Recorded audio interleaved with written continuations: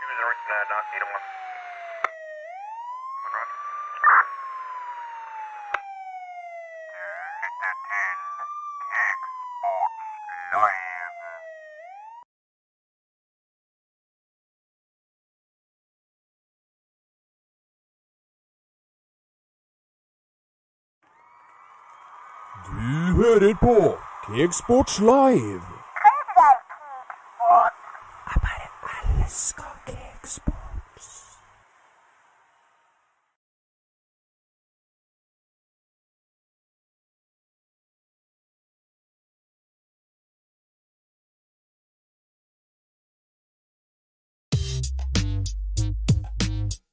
Cakesports.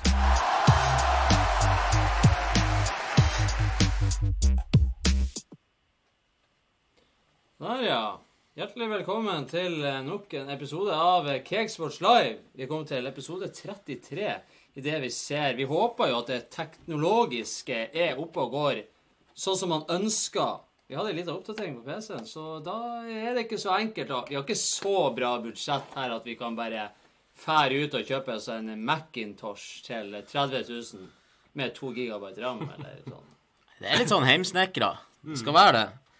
Og eh, det er jo bare å gi beskjed hvis dere ikke hører eller ser oss. Så er det fint hvis dere kan gi beskjed. Så ikke sitter og snakker til eh, veggen. Ja, vi kommer til episode med navn The Fader.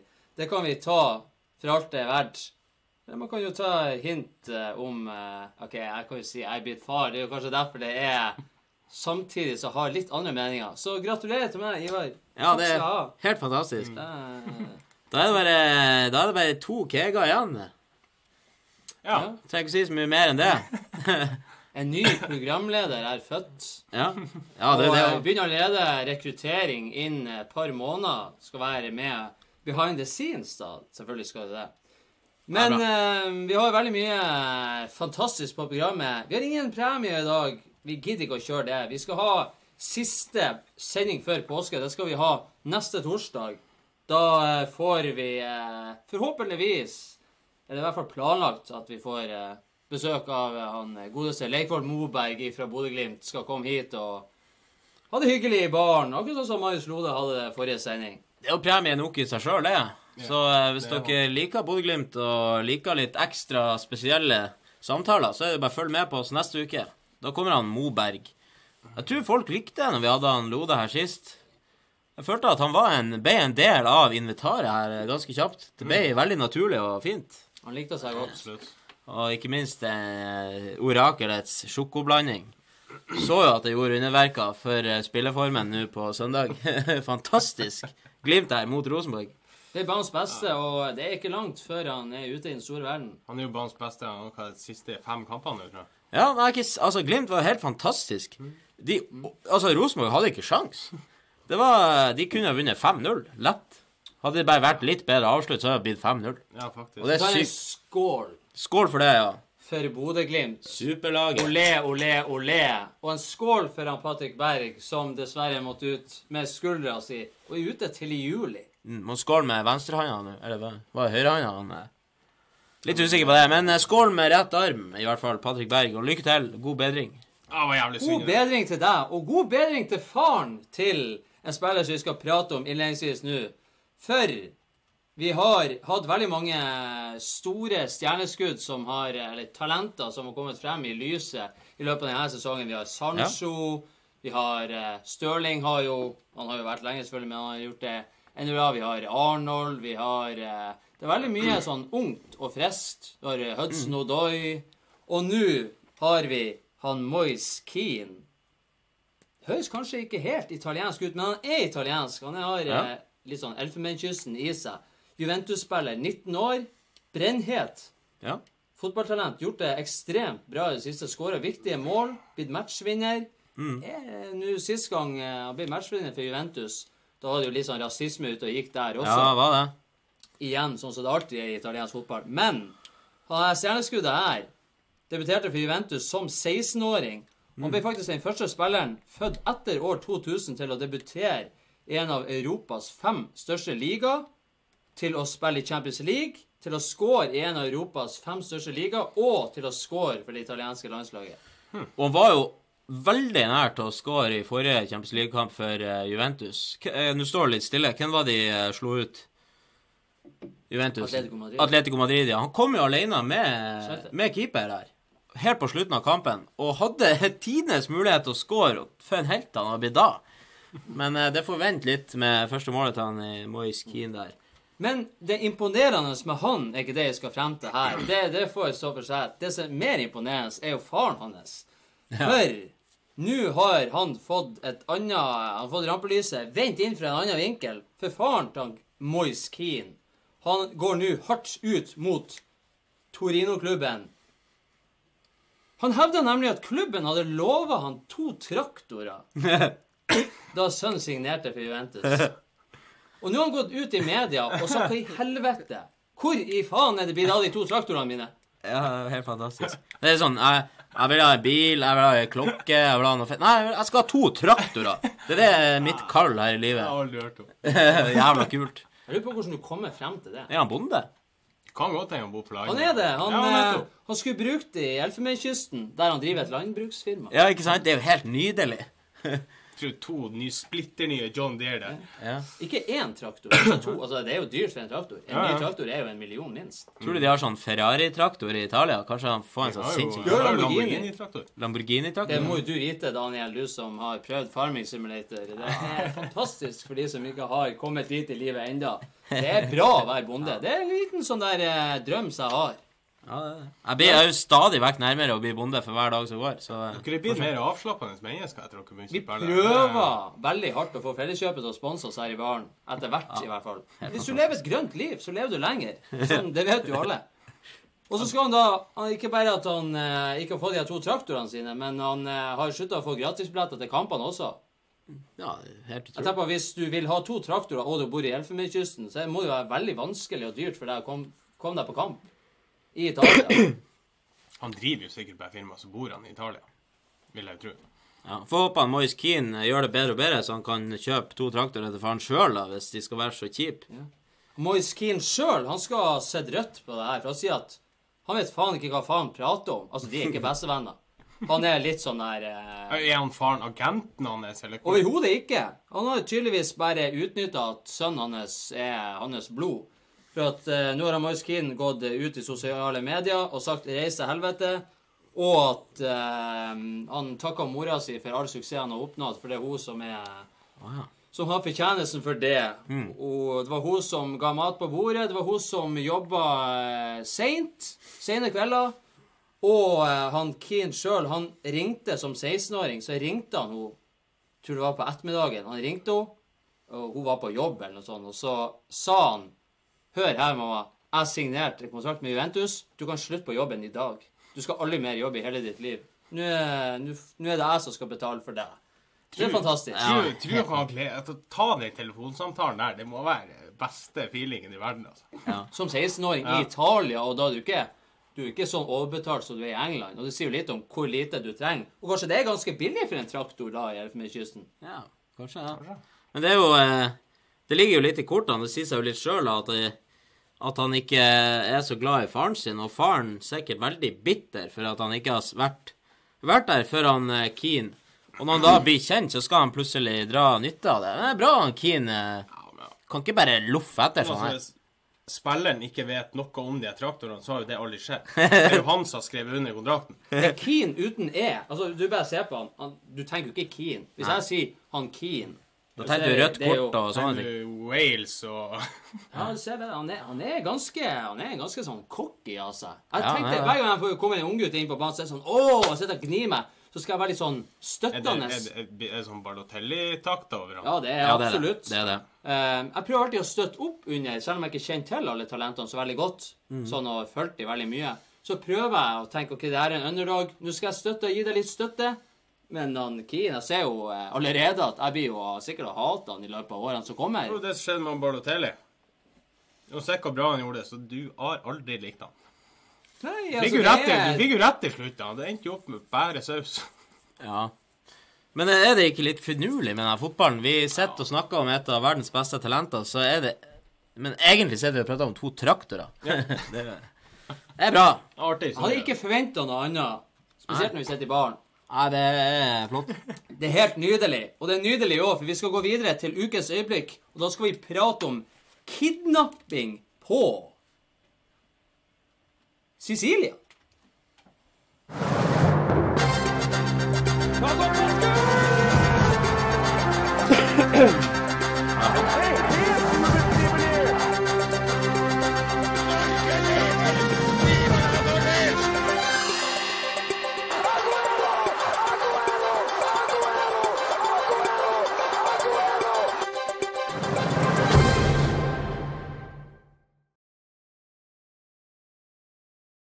Ja, i ukens øyeblikk, så skal vi prate om en kidnapping i fotballen. Hvem som eh, hadde trodd at det skulle skje?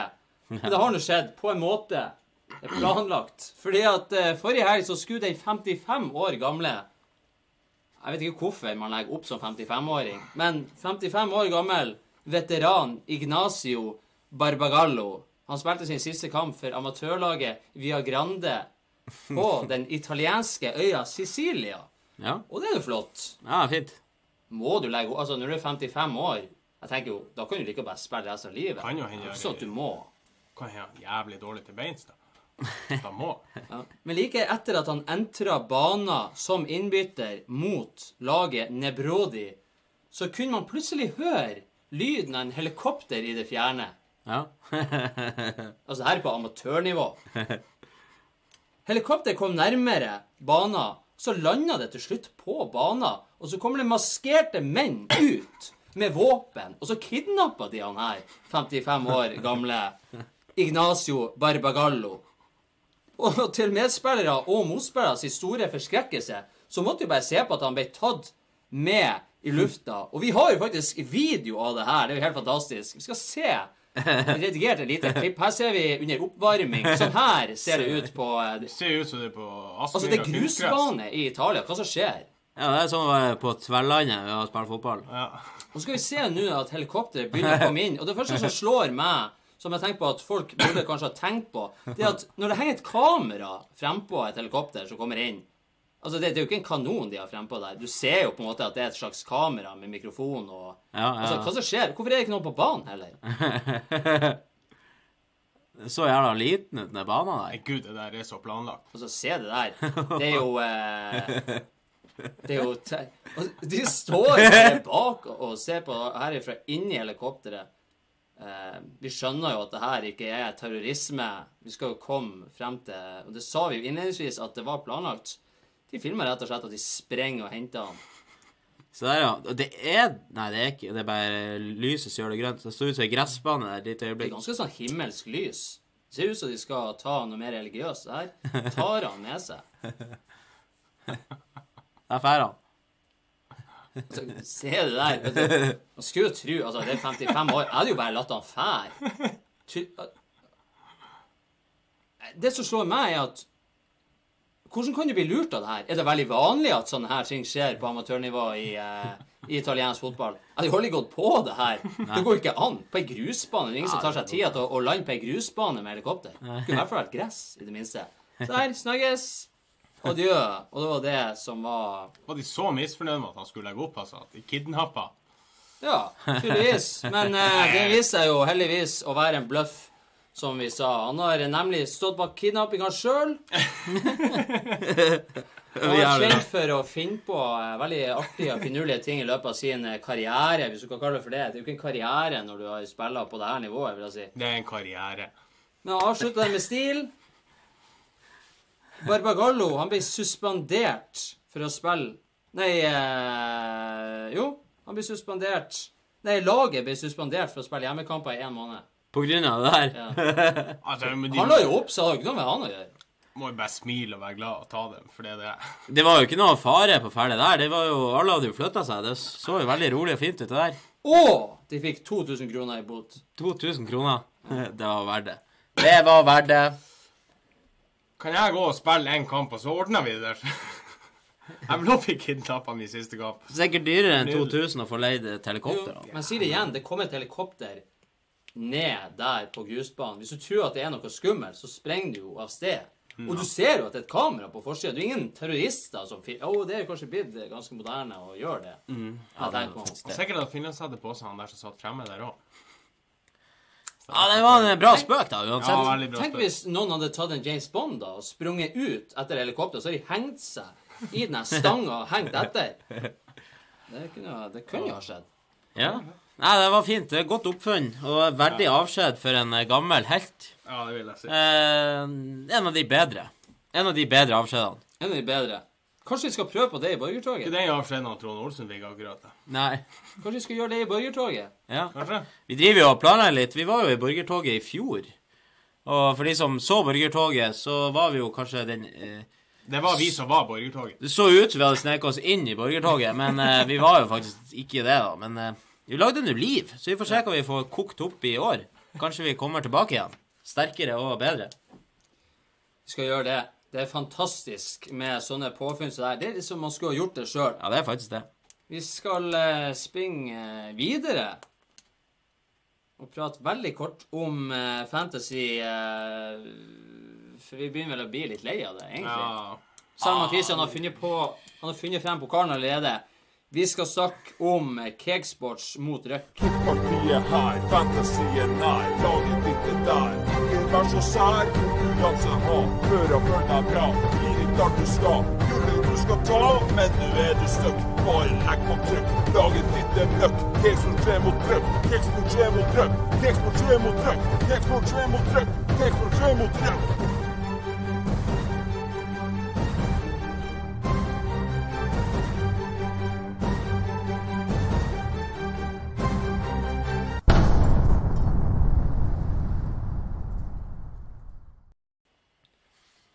Ja, vi har jo hoppa fort gjennom igjennom eh, Cakesports mot Røk, som er vår fantasyliga, de siste episodene, for vi har ikke gidda å prate om det. Jeg er ikke helt i humør til det enda, men vi gjorde det litt bedre denne gangen, så vi kan jo ta det litt mer saklig og ordentlig. Fordi at uh, Gameweek 32 endte med godkjent 89 poeng. Ja, dobbel gameweek. Ikke 8-9 poeng. 89 poeng. Dobbel gameweek. Og eh, ja, det, man kan gjøre det bedre, men man kan også gjøre det verre. Så Det var flere som gjorde det verre enn eh, oss, heldigvis. Så vi er jo fornøyd med denne runden her, egentlig, men uh, totalt sett har det jo vært skrekkelig. Opp på en eh, 55.-plass. Jeg lurer på om vi er oppe på en 54., hvis ikke jeg så feil eh, ved siste oppdatering. Men vi er på Vi ligger der og lurer på en 54-55, akkurat der vi vil være. Ligger der og bare lurer til det er et par uker igjen. Ja, vi får se. Vi får se. Vi får se. Men uh, det, det er jo én ting. Men uh, vi, selv om vi gjør det dårlig, så, uh, så er vi gode på alt annet. Og da er vi jo også gode til å skryte av de som gjør det bra i vår liga. Og det er jo minst like viktig å kunne glede seg av det. Det. For absolutt. vinneren vinner jo denne jævelen her, som er laga av egyptisk stål. Og det kan du vinne hvis du kommer på førsteplass. Og hvem det er som leder? Vi kan ta femteplassen først. Ja. Den er forresten med i siste sesongen av Game of Thrones. Ja. Er den med i nest siste episode, så følg med der, skal vi si sånn. Noen spoiler. Ja, det er det. Eh, vi kan ta eh, Hva sa du, femteplassen? Ja. Marita Therese Sæter. Oh, hun har ja. eh, nettopp fått barn, sies det. ja. Eh, hyggelig. Var ikke hun oppe på tredje? Ja, derfor det har gått litt Ja, nedover. Det det ned. jeg for det, tenkte. Har ikke fått tid til å Og litt andre oppdatere. prioriteringer. Fristen var under fødselen, sies det, så hun fikk ikke oppdatert laget. Kaptein og Jeg tror hun sånn. skulle ligget på sykehuset der med laptopen oppå magen. Det skjer, det. Det er utrolig hvor folk har skreddersydd fødslene, tro det eller ei. Jeg trodde jo personlig at ei fødestue var liksom et operasjonsbord, at det skulle være veldig sterilt, og det skulle være ordentlig, og det skulle være veldig sånn strengt. Men det er det ikke. Folk de kommer med spillelister, ballonger, de kommer med Levende liv er ikke lov for at det er sånn gasser og forskjellig, men de dekorerer rom. Altså, du må ha ei spilleliste. Noen de skal ha den sangen da, og den sangen da. Ja, mye sånn Løvenes konge-opplegg. Kommer ut der er bare også har der eh, kappa radio- med en sabel og bare Ja, nå kommer han. Personlig så hadde jeg lyst til å ha den der we Det, are er jo den, det er jo den sangen du skal ha når du lager Hva ungen. det endte opp med, da? Om jeg kan spørre. For min del Jeg fant jo ut de her reglene etter at fødselen var ferdig. Når jeg prata med, med jordmora. De her det var litt reglene. Men uh, det fant jeg ut hvis det en gang skulle bli noe neste gang. Ja. Som at du hadde en sånne tøyler på deg. Du Ja. tona det ned litt. For å si sånn, Bodø Janissar, gjør dere klar? Kommer inn en tuba og en Det blir helt fantastisk. Og så han der fyren med sånn lapp på øyet med en sånn kanon. Ja, det er det. Jeg skal filmes det. Det må være såpass. Men Yes. femteplassen igjen Marita Therese Sæter med sitt FC Bjarne. Fjerdeplassen Marius Mørkve med Darkwood Rovers. Ja, han har kommet eh, stabilt opp der nå. Tredjeplassen Christian Jammisen, Smiley, dobbel utropstegn. Andreplassen Emil Westgård med Riksports, akkurat passert 2000 poeng. Gratulerer. Og førsteplassen eh, igjen eh, The Fisherman, eh, legendary eh, Han er jo et fenomen. han er jo en, en, eh, en myte Ja. på Vegas eh, Eller på Helgelands Las Vega. Las Vega. Jon Andreas Vika med Nesquik. 2067 poeng. Da leder han med 63 poeng Ja, til det, eh, Han, er- han leder med en hel runde. Han kan Det bare er- la være å sjekke neste runde, og så det er faktisk en ganske solid ledelse i det store bildet. ja, altså, Skal skjære seg ganske kraftig. Han har leda så lenge nå. Han har vært på førsteplass siden starten. Vi skal vi finne ut det, hvor mange Vi skal finne ut til, eh, til vår eh, episode om ei uke. Da skal vi ha vår siste sending før påske. Påskespesiale. Da har vi invitert han eh, Vegard Leikvoll Moberg fra eh, Bodø-Glimt. Han skal komme her og sitte sammen med oss, Ja. og det er hyggelig. Jeg tror kanskje han òg spiller Fantasy. Det gjør han òg. Han er også Ja. med i ligaen vår, så det skal bli spennende å se hva han har gjort der. Og så må vi finne ut til neste episode, Orakel Vika, hvor mange ganger har han ligget på førsteplass? Eller hvor mange ganger på rad? Ja, det er jo faktisk helt vilt. Av Nå er vi 32, det blir jo da 33. Vi må undersøke om han har juksa. Det, er- det, her er- Doping. det er for sykt. Det er doping. Ja, det er dop. Sisteplass. Sisteplassen Har vi ny sisteplass? Nei. Det er han Semso med Team Kaka. Selvfølgelig. Men han fikk faktisk 94 poeng denne runden. Fikk mer enn oss, Oi, oi, oi. Faktisk. Ja, men vi har sagt det før, og vi sier det igjen. Det er like god prestasjon å være nederst hele tida som det å være Det er faktisk det. Ja, det er, Det er nesten- ja, det er faktisk det. Fordi at det, du, du kan prøve å gjøre det så dårlig som du vil, og så plutselig fetter han, eh, han Bare for å ta et eksempel. Han eh, jeg Hvem er det som ikke kan skyte? Han eh, Iwobi, for eksempel, skåra fra 40 meter i krysset. Altså, alle kan skåre. Ja. Og så eh, Ja. Du vet jo aldri. Nei, jeg Jeg tror jeg skal kjøpe han en, sånn- en liten pokal. Hvis han ender opp sist, så skal han få en sånn liten pokal. Så er det verdens dårligste i fantasy. Skal stå. Det må jeg ha til neste år. Om å komme på sisteplass. Da kan du enten velge Vil du være vinner, eller vil du være vinner eller tapervinner? Det er helt nydelig. Du begynner jo allerede en ny runde eh, i morgen. Ja, faktisk. Ja, det. Southampton-Liverpool, eh, har, vi noe, eh, noe forslag til oss sjøl, da? Blir det, blir det Salah endelig, Christian? Blir det Mo Salah? Nei. Nå mister jeg trua. Blir Mané igjen. Man er igjen. Blir Mané? Christian har sagt Mot det. eh, gamleklubben. Mot gamleklubben. Ja, Liverpool har jo Han noen og derfra. eh, resten av Liverpool. Ja.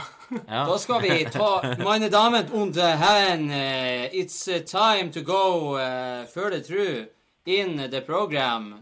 Vi skal prate om mannskit, enda mer mannskit, og alt det unyttige vi har i fotballverden. Vi skal til verdens beste spalte noensinne. Det sa kongen sjøl en gang, faktisk. Vi skal til Å ja, sier du det? Sier du det? Det hadde du ikke trodd, nei. Det er det sykeste jeg har hørt. Ja, nå er jeg spent. det. Det er, vi, vi går rett på Adel Tarapt. For de som husker han. Ja. Han lever ennå. Ja, det så må Han er være bare 29 år. Han er yngre enn meg. Kødder du? Det er jo helt sykt. Sykt. Han har akkurat debutert for Benfica. Fire år etter at han ble henta til klubben. Det er jo helt fantastisk å få opp et bilde av han her, bare for de, for, for de som har glemt ansiktet hans. Han var jo så høy på seg sjøl, han fyren der, han var i uh...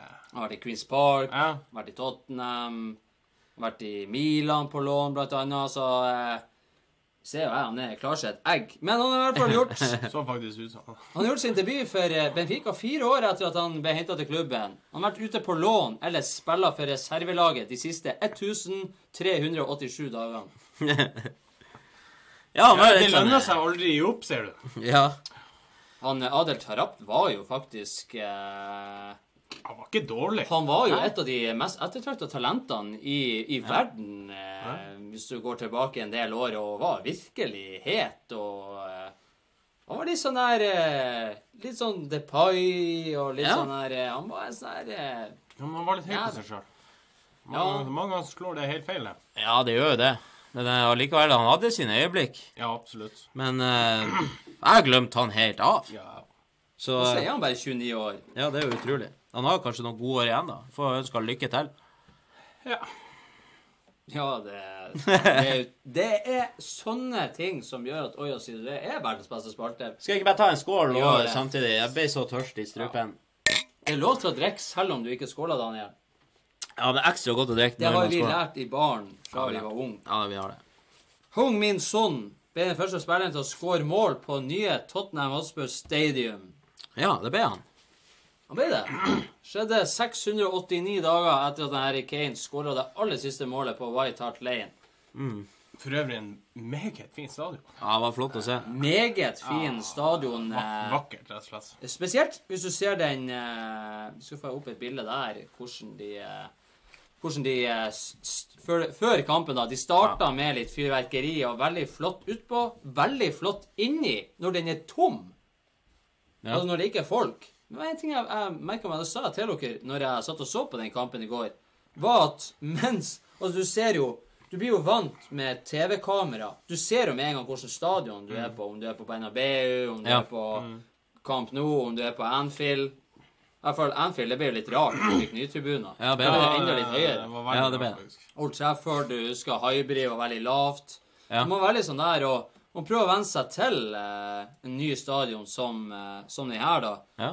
Og jeg fikk, en sånn følelse, jeg fikk ikke en følelse av at det var en ny og moderne stadion når jeg så det på TV sånn der.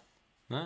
Det er litt rart med det. Det er litt sånn samme følelsen jeg fikk med Allianz eh, hjemme sånn at det var i München. Når den er fylt med folk, så syns jeg den er litt sånn trist.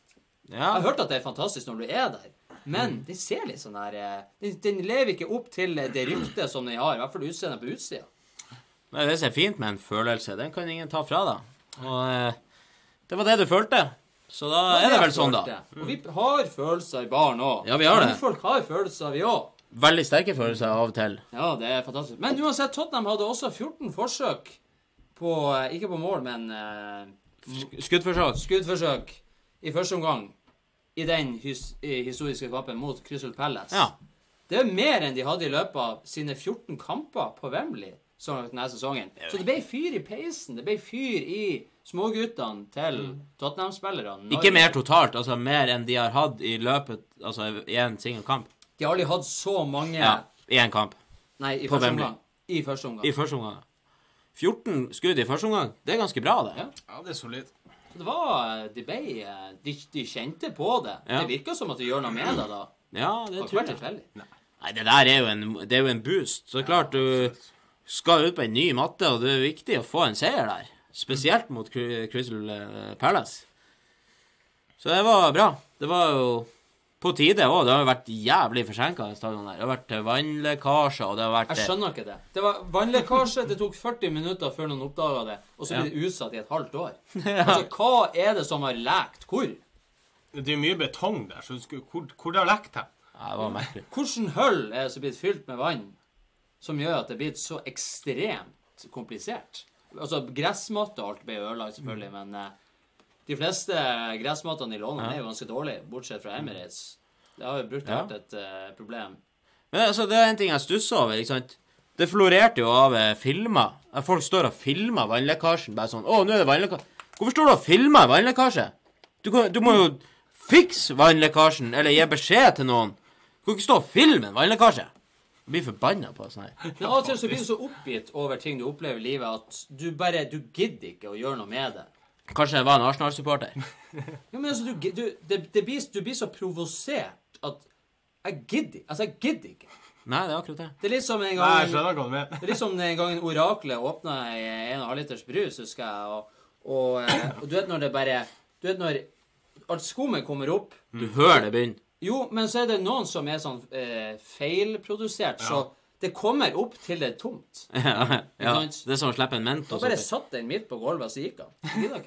Gikk og skru en korking. Han var så sint på den brusen at han gidda ikke. Den bare sto seg i fontene. Så venta han til at han måtte vaske hele gulvet. Det ligger greit. Gidder ikke. Men det var jo litt sånn eh, Når Liverpool bygde ny stadion, så var det jo selvfølgelig firma har de bygd ny Nei, stadion? ny, ny tribune. Så var det jo eh, eh, forskjellige firmaer som drev og jobba der, og det er jo alltids noen som heier på et annet lag, som driver og bygger der. Så det var jo et par bilder der det hadde vært eh, gjort en del ting der inne som kanskje ikke er like hyggelig for Liverpool-supporterne. Så det er kanskje det som skjedde på eh, på stadion til Tottenham òg, at det har vært noen og kappa litt oppi rørene der og gjort Altså, det, det skal du faen ikke se bort Nei, jeg tviler ikke. Vi Du hadde jo under ei sending for veldig mange måneder siden Vi hadde jo ikke noe bilde da, men da var det jo en eh, Westham-supporter som la ut på Twitter da, at han, han tok bilde Han jobber jo med betongen. da, At han la et Westham-sjef inne i betongen Mm. Ja. og støypa det igjen. Så inni stadion en plass så er det et Westham-sjef. Ja. Det er jo jævlig artig. Det skal være litt sånn. Det er jo litt sånn med, med huset vårt, så ligger det et, et sjef i grunnmuren der òg, så det er fint, det. Men jeg mener jeg hørt. Det er viktig, det. jeg mener jeg har hørt at det er noe sånn på Old Altså det er litt sånn her Old Trafford og Liverpool også. På Old Trafford blant annet så har de i årsbudsjettet sitt at de må eh, renovere og kjøpe nye dass fordi at Liverpool-sporterne knuser og ødelegger eh, Det er sikkert omvendt også, men jeg vet i hvert fall at United har det i årsbudsjettet sitt. Ja. At de må få nye toaletter fordi at de vet at det skjer hvert eneste Etter år. hjemmekampen mot Liverpool så må vi Renover det, altså. Bare ring før helga, bare. Du, det er nå det, det skjer igjen. På mandag så er det bare å stille opp. Ja, ja, de er klare. De Bestill inn. klar. Bestill inn nye dass. Det er rått. Sergio Aguero han har skåret like mange mål for City. Han har 228 mål på 328 kamper. Ja. Skåret like mange mål for City som det han Thierry Henry hadde gjort Eller det han gjorde for Arsenal. Stemmer det, ja. Det var nå, ja. Han er ennå ikke blitt årets spiller. Aguero eh, Nei. har brukt 48 kamper mindre. Han har ikke vært på årets han, lag, tror jeg. Det er det. Han har vært på årets lag, han Aguero. Nei. Nei, det er akkurat det som er. Det er helt sykt. Men eh, han eh, var jo blitt skada nå, Han spilte ikke mot eh, Cardiff i går, men det var jo Bare for å si det med en gang Dæven steike hvor dårlig Altså, jeg har ikke Altså Manchester City kunne sikkert ha vunnet 10-0 den kampen her. De var jo helt Jeg jeg har ikke Altså, sett hva det. det er de er fem Fem poeng over streken, er det? Cardiff. Og så stiller du opp med de altså det. Hårreisende innstillinga der. Ja, det var jo ikke noe å rope raff, men de møter jo et lag som er ti ganger bedre enn de, og de blir men du kan ikke gi opp før kampen er bygd. Nei, det er jeg enig med. Du må jo prøve. Du må prøve. Ja. Men når manageren, manageren din også er, har gitt opp før kampen begynner, så er det jo kanskje litt vanskelig. Aguero, da, er han eh, Det er mange som mener at han er kanskje den beste spissen som har vært i Premier League noensinne. Noen, eh, noen sier nei, noen sier Altså, jeg er aldri noen fan av vel én spiller. Og så er det jo veldig mange som, også, også sånn som meg og som dere, som er liker nostalgi. Sånne gode, gamle spissene som hadde litt mer sjarm og litt sånn der. Det som er med Aguero, han er han er, han er, han er han er på en måte veldig god, men han er veldig lite synlig. Han er ikke den som stiller seg fremst i køen og vil ha masse oppmerksomhet. Han er veldig hyggelig med alle. Aldri ufin og stygg eller eh, rappkjeftig eller noen ting. Han er liksom likt personlighet av alle. Ja. Og så ser du han. Legger veldig lite merke til han på banen. Han skaper ikke så mye sjøl, men når han får ballen Ja. og avslutter, så skårer han jo uansett hvor han avslutter ifra. Og, Ja. og derfor er det sånn Jeg vet for min del så er det jo at eh, jeg har alltid hatt han litt sånn der eh, Jeg klarer ikke å definere han, for at han er som et spøkelse som bare putter ballen i mål. Ja. Jeg har jo sett han spille en god del kamper. Mm. Det må jeg jo innrømme. Så det er litt sånn her rart. Jeg husker sånn Ary, for eksempel, det er veldig mange Arsenal-supportere som kontra med at ja, han skårer like mange mål på færre kamper, han Aguero. Men han Ary var så mange ganger på årets lag. Han var eh, ditten, han var datten. Det har ikke Aguero vært. Men samtidig, Ja, men det, var, det er jo litt mer konkurranse i dag enn det var på den tida i tillegg. Jo, jo, men liksom, du kan ikke definere noen ut fra bare hvor mange mål de skårer heller. Nei, ikke når du skal si hvem som er best. Nei. Det er jo sant. Henri var jo mye mer synlig. Så da, jeg skjønner jo de som sier det. Ja, ja. Med assister, med det han skapte, med det at han tar med seg ballen litt dypere og tar Ja. den med seg frem. men gjerne når du, er, når du er spiss, så blir du dømt ut fra hvor mange mål du skårer, og ikke noe annet. Det er jo det, og, og liksom 228 mål på 328 kamper er jo intet annet enn imponerende. imponerende. Ja, det er jo, fantastisk. eh, helt fantastisk. Han skårer jo egentlig fra overalt. Ja. Dødelig avslutter. En av de bedre. Det må, man må kunne si det, at han er en er av liksom det. tidenes beste avsluttere. Han er Ja, det kan vi si. Det er Det må man kunne si. Men det er jo så Alle sier det, mange, eller ikke alle, mange sier for eksempel han Firminio er ikke så god. For han skårer ikke så mye mål. Nei. Men han er jo en av de viktigste spillerne for Liverpool for det. Da er vi jo inne på en Så- mer moderne Jo, type men spiss. ikke sant, det er derfor jeg sier du må ikke dømme folk bare ut Hadde han vært, en, hadde han vært uh, offensiv midt, for eksempel, Ja. så hadde han jo plutselig vært en av verdens beste offensive midtbanespillere. Så hva skal Men man jeg skulle si? også si med Firmino. For min del kommer alle av Firmino til å være spiss. Nei, det, jeg, Jeg, jeg kommer aldri til å si at han Firmino er en spiss. Han Firmino er en offensiv midtbanespiller som er en falsk nier. Han, er, han blir brukt som en slags en sånn dypere spiss med to spillere litt lengre frem. Så han er på en måte den som skyver som en, ballen videre. spiller jo som en offensiv midtbane. Han er en, han er en dobbel offensiv midtbane. Det er han. ja. Ja, Samtidig som han tar noen ganger sånn bakromsløp og strekker forsvar Ja, ja. sånn. Det er utrolig, egentlig, å tenke på. Man kan gjøre det. Det er blitt mer taktisk i dagens fotball. Ja, absolutt. Skal vi se her. Manchester United de har skåra flest offside-mål i Premier League-historien med sine 34. Ja. Det er ikke overraskende. Nei, det var ikke sjokkerende, det akkurat. Nærmeste konkurrent er Chelsea med 31. Men jeg hadde ikke trengt den statistikken. Og det, det, det er ikke fordi at jeg ikke heier på de at jeg sier det, men sånn helt seriøst, det er ofte de får et offside-mål. Ja. Sånn at uh, det, det er ikke sjokkerende. Så man må kalle en spade for en spade. ja. Men er det også litt fordi at du har jo uh, Det var jo litt snakk om i norsk media at Rosenborg har fått ett et straffespark mot seg de siste tre årene, eller på 90 kamper, eller hva, hva det sto. Og da er det noe som eh, Rosenborg-spillere som kontrer med at Men vi, det, vi har vært det beste laget i alle år. Vi er veldig mye mer på den andre sida. Ja. Altså, under våre kamper Ja. så er det vi som, som presser, og det er vi som kjører på. United har vunnet Ja. uendelig mange trofeer etter at Premier League ble starta opp. Kan det ikke ha noe med det å gjøre? Jo, jeg skulle ta sammenligning med at de, de har fått så sykt mange straffespark de årene de drev og vant serien hvert år. Men det er jo igjen for at de er der mye. Ja. De er inne i motstanderen til 16-meteren ganske mye. Da oppstår det situasjoner. ja. Akkurat så oppstår offside-situasjoner sånn som det. Så møter jo lag som har eh, respekt. Kanskje ikke like mye nå lenger, men eh, lag som legger seg bakpå, ikke sant. Og så, så er det å spille inn i 16-meteren, ikke sant. Så blir det straffe, så blir det offside, og så blir det mål. Så det er jo en naturlig del av det òg, men eh, allikevel så er jeg ikke overraska. Nei, det er eh, absolutt ikke det. er- Hvis vi går i to sesonger tilbake, så hadde de vel flest De hadde vel eh, ni offside-mål og åtte mål eh, som motstanderen fikk annullert, som burde vært godkjent. Så jeg tror Mm. de fant ut Vi hadde en sending om det òg. 17 mål til sammen eller sånn i løpet av en sesong som de ikke burde hatt. Det er ganske mye. Er. Men de gjorde det jo ikke veldig bra da likevel, så det hadde ikke så veldig mye å si. Nike Jordan er direkte latterlig, men eh, de har i hvert fall lansert sine aller første fotballsko noensinne. Air Jordan 1. Og da er vi jo selvfølgelig inne og prater om Da prater vi om PSG. Da prater vi om PSG. Se det der.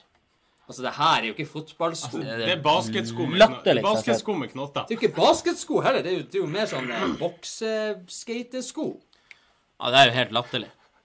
Du kan ikke spille fotball med det der. Så ankelsko. Du har jo null bevegelighet i foten. Det var helt jævlig. Jeg er overraska. Kan ikke spille fotball når det er en basketspiller på skoen. Er det det òg? Du ser jo altså, Ja, det Det er jo Jordan. men på tunga Du ser jo at han Jordan henger jo Ja. og holder i basketballen. Ja, det gjør han faen meg der. Men så skal det sies at Det er jo hands! Ja, det er hands. Det er hands. De her kommer ikke i butikken. Slapp av, det kommer ikke i butikken. Det er, det er bare De laga Det var den første fotballskoen de laga. Ja, okay. Bare for å lage det. Tror, de- tror de burde prøve seg en gang til. Men hadde de ikke laga en til modell? Jo, det var en Jo. hvit en, tror Jeg jeg. skulle til å si det. Ja. Du skulle det, ja? Ops! For at Se der, ja. det er Nike Jordan som er kommet, som blir masseprodusert. Nei, som nei. skal selges ute i den store verden. Og det heter Nike eh, Jordan Neymar Selvfølgelig. Mener? Nike, Jordan, Neymar altså, Ja, det, ja, det, det an? ja, det er nå noe sånn der. Ja, men Jeg vet ikke om det var akkurat det, Kristian, men uansett. Men det, er- det, det, er som, det er som når du blir spurt i førsteklassen sånn Ja, hva du vil bli når du blir stor? Jeg vil bli brannmann. Altså hva- Finn du på noe annet å svare! Altså, seriøst, det går ikke an, det der.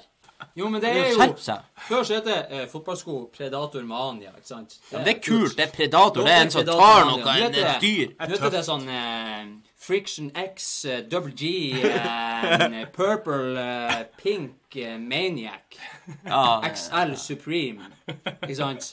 Og det, er- de her skoene som er så er nye masseproduserte Nike, Jordan, Neymar Det er i hvert fall Neymar som skal bruke det. Og det er enda større basketspiller!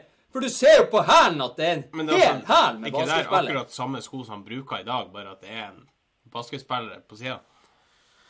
Jo, bakpå her. Jo, men det, altså, Så skoen, i seg, skoen i seg sjøl ligner veldig på de han allerede bruker. Det som blir å skje nå, er at Nike Jordan har innført at han Neymar sikkert må ta ekstra mye hælspark.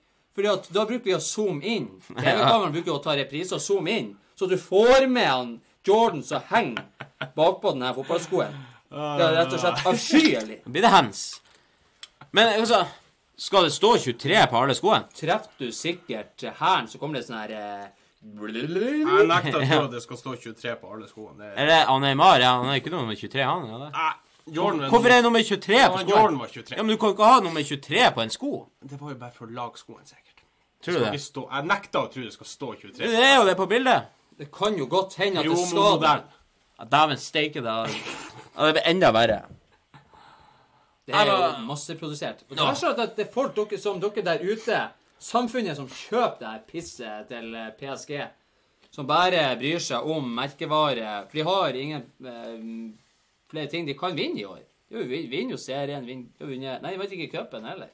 Nei. Ikke Champions League, så det var grusomt. Så, eh, men grusomt er det også for Huddersfield og Fulham. De har offisielt rykka ned fra Premier League etter 32 og 33 kamper. Det er ganske kjedelig. Ja, takk for alt. For eh, de som Man liker jo å, følge med på bunnstriden, Mm. topp fire-striden og gullstriden. Ja, men Fulham de kan jo bare takke seg sjøl. Så sleit allerede, og så kjøpte jeg Nordtveit for å forsterke forsvaret. ja. Altså, det, Da kan du egentlig bare takke deg sjøl for at du rykker ned. Jeg vil heller si at du kan takke seg sjøl for at de brukte han Odoi altfor lenge. Ja, ja. De skjønte jo etter hvert Eller han Scott Parker skjønte i hvert fall. De at da jo to ikke managere fikk sparket, så skjønte han i hvert fall at Odoi må ut. De hadde jo ikke noe bedre. Det var derfor de kjøpte Nordtveit.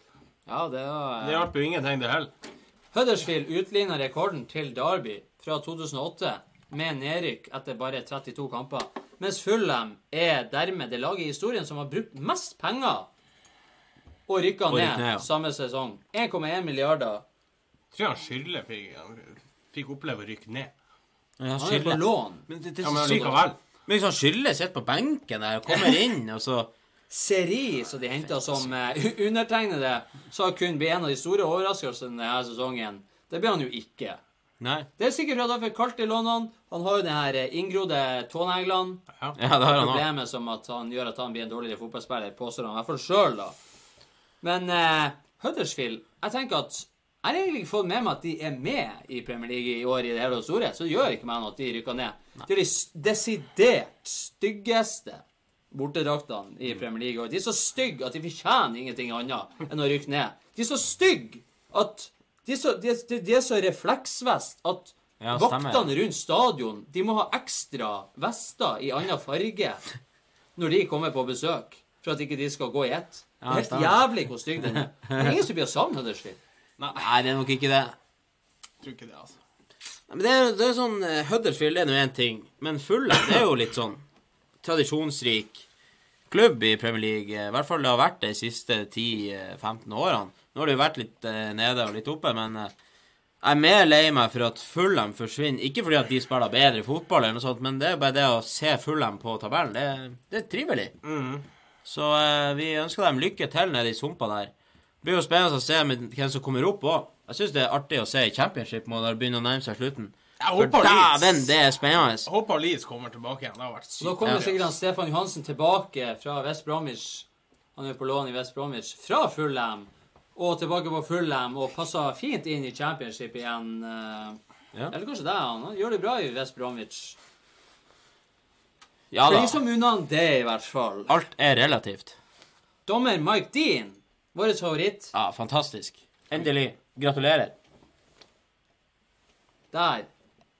Han fikk jo eh, d- Han fikk jo Endelig fikk han delt ut sitt røde Sitt røde kort nummer 100 i Han venta Premier League. på det. Ja. Til kaptein Ashley Young der. Han tok ansvar. Tok ansvar, men det er jo ei hodeløs takling som nesten var rødt, bare den. Men det var jo to gule, da. Det er jo litt kjedelig da å få ditt 100 røde kort, og så blir det en dobbelt gul. Ja. Det skulle heller vært en sånn skikkelig jævlig Skikkelig jævlig takling. ja. Men eh, den var ganske ufin. Ja, det var det. Mens Den andre gule, den var litt sånn der eh, Han kunne faktisk, ankelbrudd han, kan, eh, selv om han har gul fra før, så kan jo være direkte rødt. ja. var, Jeg skal ikke si at det, at det var det, men Altså, det Det kunne ha Jeg vært er det. ikke blitt eh, sjokkert. Man har, man har sett, det- sett det før, men eh, vi snakka jo om det før. det er vel to sendinger siden at han var på 99, han din. Ja.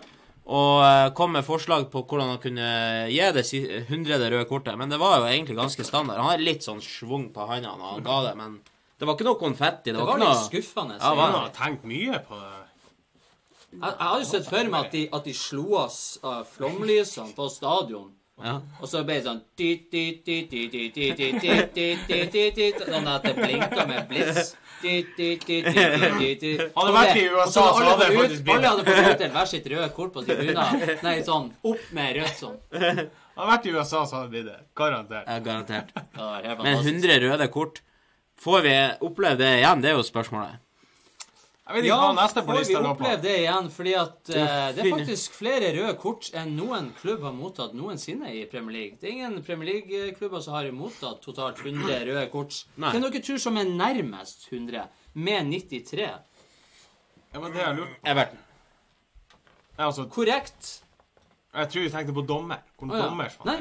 Unnskyld, da var jeg så dårlig for Everton har alltid vært et eh, styggtspillende lag. De har jo hatt det veldig Det, ja, men det er mye bitterhet der, så det, jeg skjønner det godt. Magdin med 100, Everton med 93, Arsenal med 87, Newcastle med 82, Chelsea med 78 og Blackburn med 77. Ja, Blackburn. Det var nesten der jeg gjetta Blackburn òg.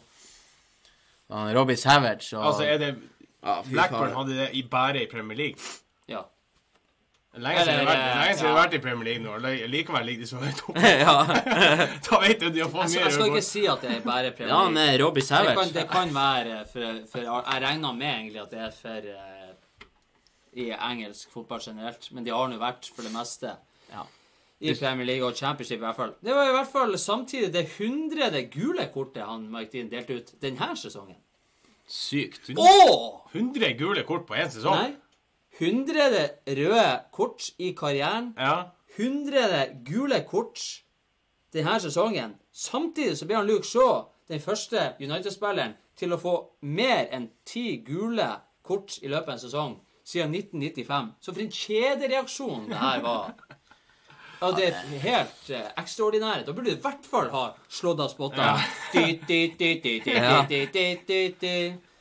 Dæven steike. Det- Men det, det, det, det er jo Det er jo Hvis det hadde skjedd, så hadde du faktisk klaga på at det her blir, det her blir altfor USA og NFL og Da hadde du vært forbanna hvis det hadde skjedd. Jeg hadde flira der og da, så hadde jeg vært sur etterpå.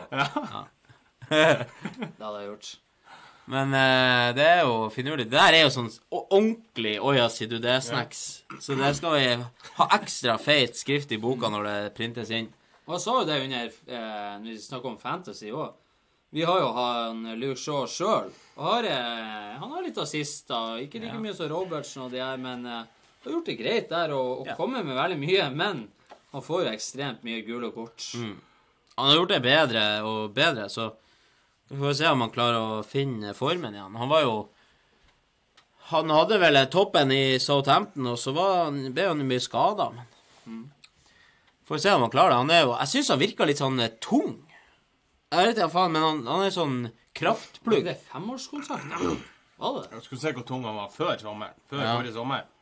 Ikke at han er tung i steg og sånn, men det er litt sånn som han Shakiri. Han ser ut som han egentlig ikke er så bevegelig. Han er bare sånn Men her han, hvis du så bilder av han, så han trena jævlig godt forrige sommer. Ja. Så han er blitt en kraftplugg. Ja, men det er han jo nødt til å gjøre. Han tjener jo penger for å gjøre det. Ta, trene Han, mer. han har vært bra i år, da. Det skal sies. Ja, få ny kontrakt, langtidskontrakt, med gode penger klirrer i kassen idet vi er ferdig med verdens beste spalte. Å ja, sier du det? Og vi nærmer oss, eller vi skal gå inn i den siste delen av eh, denne episoden som har fått navn The Fader. Vi skal prate om rykter og overganger i eh, Du skal ikke tro på alt du hører. Skål da, folkens! Skål! Skål, da! Du, word on the street er at du har begynt å kjøpe klærne dine på tilbud. Du, hold opp, da. Ikke vær lættis. Ikke tro på alt du hører.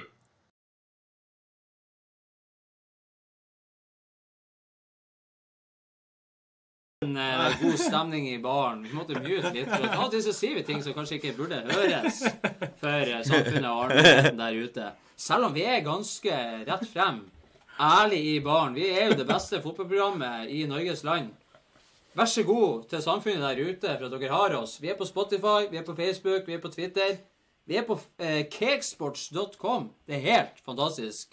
Og ikke glem å skru på om ei uke, for da skal vi ha gjester i baren igjen. Vegard eh, Leikvoll Moberg kommer og forteller litt om den kommende sesongen i Glimt. Så send inn spørsmål hvis du har lyst til det. Han blir å svare på egentlig det meste. Vi har sagt til han at eh, er du her, så er du her. Det er Sånn er det bare. Er du her, så er du her. Er du ikke der. Ferdig med den saken. Vi begynner med at Wolverhampton har i dag signert Raúl Jiménez fra Benfica på en permanent avtale. Ja. Spennende. Eh, gjorde det lurt i. 15 mål og 8 assist på 37 kamper. Eh, Meget bra.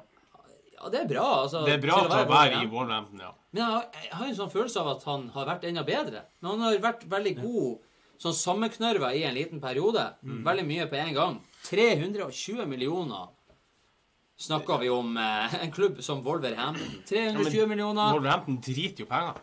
Det er fantastisk. Sånn er fotballen blitt, Christian. 320 millioner for Det er det nye standard. Ja, det er nye. Det er egentlig under standard. Ja.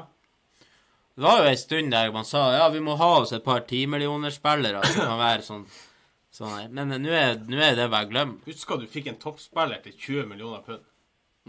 Det Ja. var tidlig. Det var tidlig. Ja. Henderson gikk jo til Liverpool. Det var jo veldig mye des... Da Da var det det, dyrt. da var det mye ramaskrik. Hva Ja. er det som skjer her? Chambers til Arsenal for Ja, de, de eh, kjøpte jo han Henderson og han Lovren til sånn 25 millioner pund. Det er dyrt, det. Chambers gikk vel til Arsenal for 160-70 millioner. Ja. Eh, som høyreback eh, liksom, har noen gang spilt en god kamp i sitt liv. Ingen som vet. Enda den dag i dag. Men eh, uansett, det er utrolig. Og eh, utrolig, Ander Herrera skal være enig med PSG Ja, jeg så det der. om en gratis overgang. Den nyheten kom i går, faktisk. I går, Sent i går kveld, mener jeg. Ja. Gratis overgang til sommeren. Går jo ut kontrakten eh, på Old Trafford eh, nå eh, etter sesongen. Eh, hæ, sier jeg. Hæ? Hva, hva er det som skjer? Eh, Erstatta han Rabiot. jo, men la oss nå begynne med PSG, da. PSG henta jo eh, ny eh, midtbanespiller som omtrent ikke har spilla.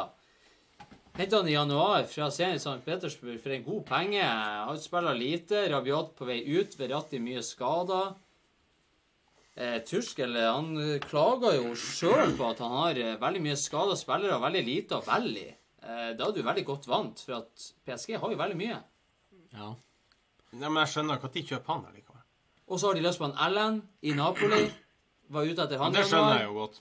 Jo, det skjønner vi jo selvfølgelig. Og de var vel ute etter uh, han uh, Var han Gueie i Everton de var ute etter? Ja, stemmer det. Oraklet nikka. Må bare, det er ikke alltid så lett å ta alt på eh, folkemunnen. Men vi har et rett orakel. I, rett i skallen. Men jeg mener Gueie. Ja, vi har Det en er sånn fase. ingen andre TV-program som har et Du er orakel. ute etter veldig mange spillere. Eh, Mm. Kanté har vært nevnt. Og så nå Herrera. Blir de å vinne Champions League med Herrera? Nei. Nei. Jeg tror ikke de blir å vinne Champions League så lenge de spiller i Frankrike.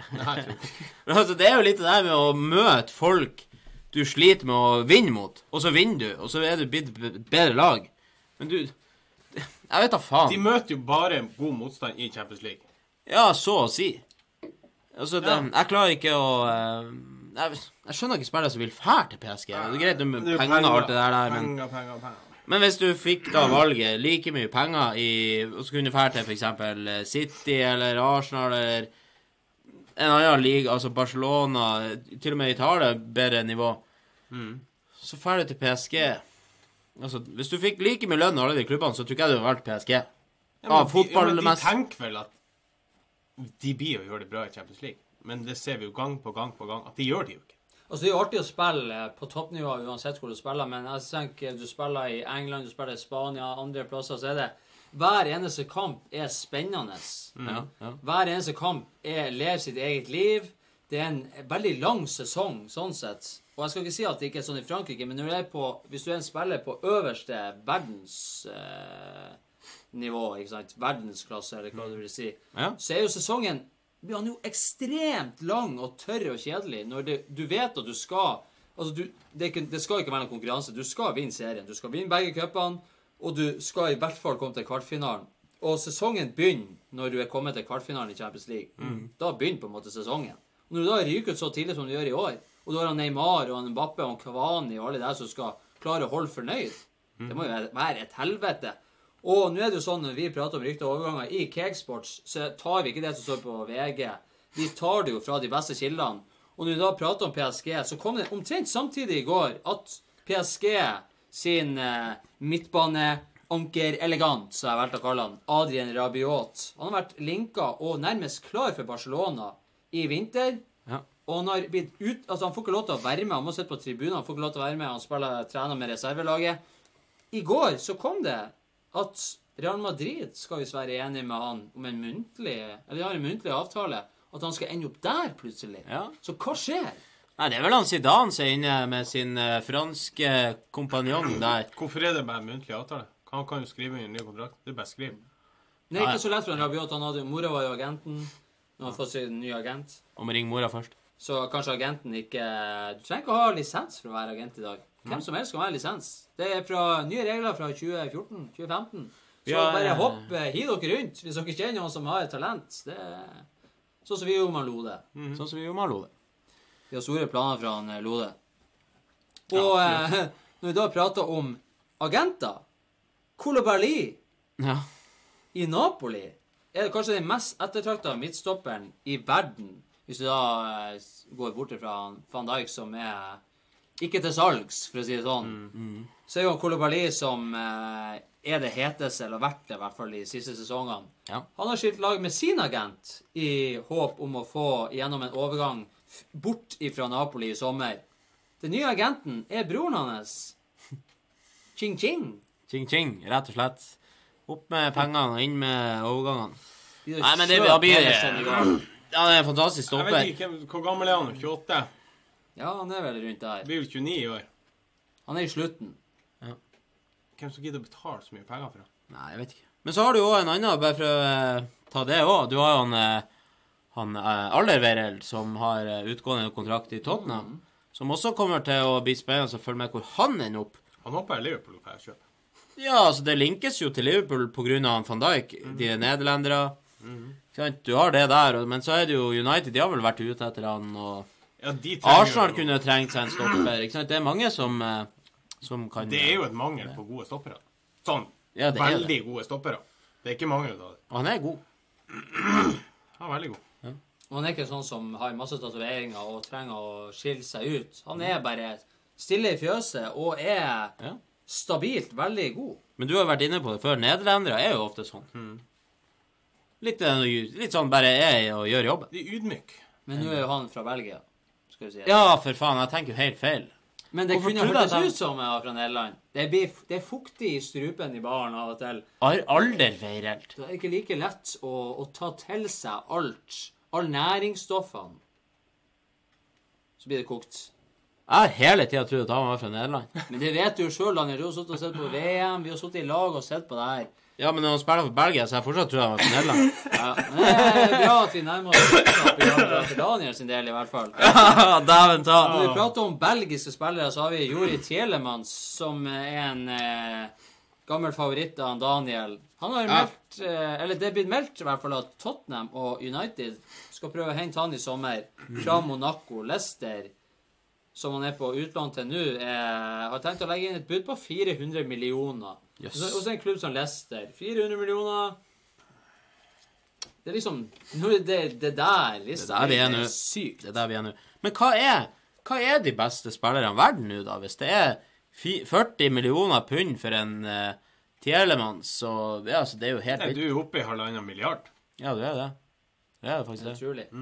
Så har vi kjapt eh, Lyon-president Jean-Michel Aulas. Han har en eh, gentleman's eh, agreement, som vi sier. Det er sånn Du har vært veldig hyggelig, du skal få lov til å stikke herifra.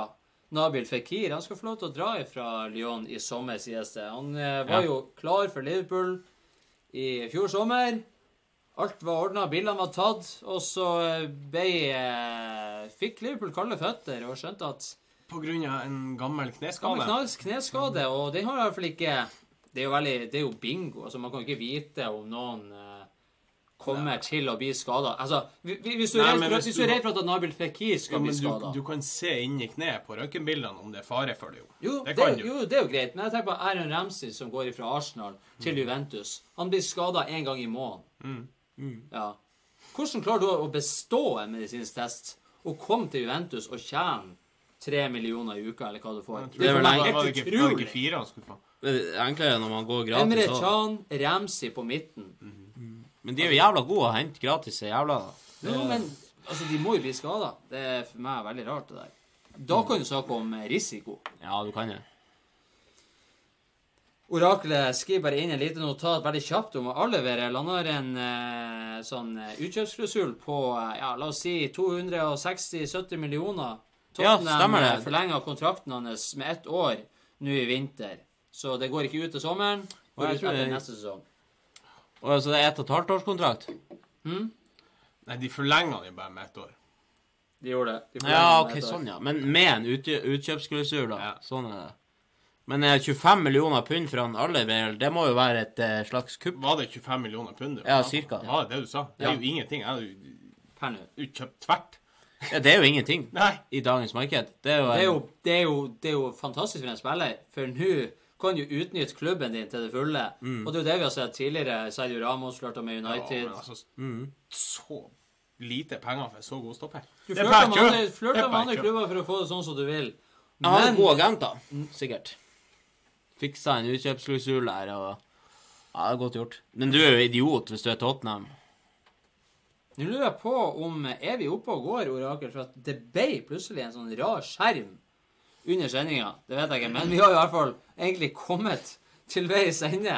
Uansett i denne sendinga her. Vi har prata i eh, ja, litt over en times tid. Der er vi oppe og går og ser bilder av meg sjøl. En time og fem minutter. Og da er det kanskje nok Hakka det veldig. Nei, det har ikke gjort det. Det er bare litt sånn der eh, hmm.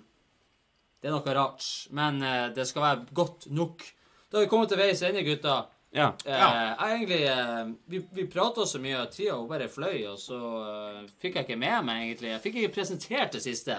Det er like hyggelig som alltid. Ja. Vi tar en skål. Det er helt fantastisk å sitte i baren her. Det er faktisk helt fantastisk. Vi vet å sette pris på det sjøl. Og vi håper selvfølgelig at samfunnet der ute setter pris på det. Det er også for at eh, vi er her for å plage dere i hjel med masse unyttig og nyttig og usaklig og saklig fotball-mannskittprat. Det er det vi er best på. Og eh, selv om vi kan være litt sånn der rett frem og filterfri, så er vi seriøst mange måter. Vi bruker mye tid på det her, så uh, ikke ta oss for noe spøk. Vi er, vi er kommet for å bli, og vi sitter her Ja, en gang i uka. Det har vi gjort nå i over et år, og vi har ikke hoppa over veldig mange episoder. Jeg tror kanskje én. Ja, jeg tror kanskje en. Ja, det er. Og ta nå del oss hvis du liker oss. Fortell, oss, uh, fortell om oss på jobb, til en venn. Få ut eh, Cakesports til folket. Og gå inn på cakesports.com og Spotify, Twitter, Apple Podcast. Det som er og er. Og neste uke kommer han. Vegard Leikvoll eh, Moberg, som Ja. Sprenger mest og er best eh, på Bodø-Glimt, eh, eller var blant de bedre spillerne, mot Rosenborg. Og selvfølgelig skal han komme hit da, selv om vi ikke er noe Glimt eh, Vi er ikke noe Glimt-program, men vi vi liker å Vi liker være litt Glimt, sånn så. Ja. Sånn olé. Kommer sterkere i baren enn Han er jo sterkere enn Ronaldo ifølge Fifa, så det blir artig å, å, å, å ta det opp med han og si Ja, hva han han sier. er det, og vi kommer selvfølgelig til å ta det opp, og vi skal kjøre en liten test i løpet av sendinga også, har vi funnet ut. Så eh, bare heng med om ei uke. Da er han klar som et egg. Da takker vi for eh, sendinga i dag. Og så sier vi på gjensyn da, og eh, adjø.